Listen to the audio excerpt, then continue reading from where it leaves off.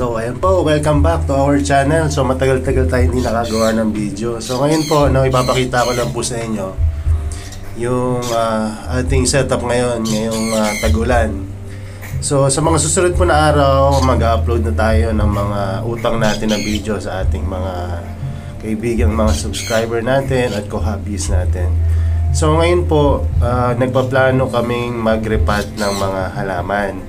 So, i-feature natin yan. At ngayon po pala, no, nagbebenta na kami ng mga ano, sphagnum moss. Ayan. And soon, mag-out na rin tayo ng mga live. So, ngayon, no, napakaganda ng mga ating mga nepenthes. Ganyan rin yung mga ating mga Venus flytrap ay unti-unti na rin lumalaki. No? So, dati kasi, no, parami lang sila ng parami ngayon. Ayan.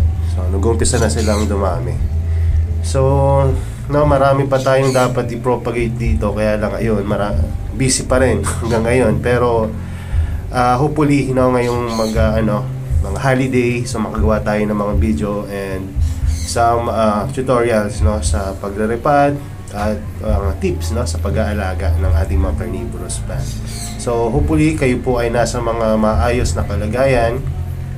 At feel free po no na mag-comment kung ano po yung mga video na gusto niyo pang makita no although itong ating YouTube channel eh kaya po ako matagal rin hindi nag-upload eh alam ko na halos kompleto na po yung ating guide no so kung meron man siguro yung mga hindi lang natin talaga magawa dito tulad ng mga indoor setup since tayo ay fully outdoor. So yun lamang po no. So God bless and hopefully tayo po yung magkita-kita ulit sa mga susunod na mga ating vlog sa ating YouTube channel na ito about carnivorous plants. So yun lamang po. God bless and bye-bye.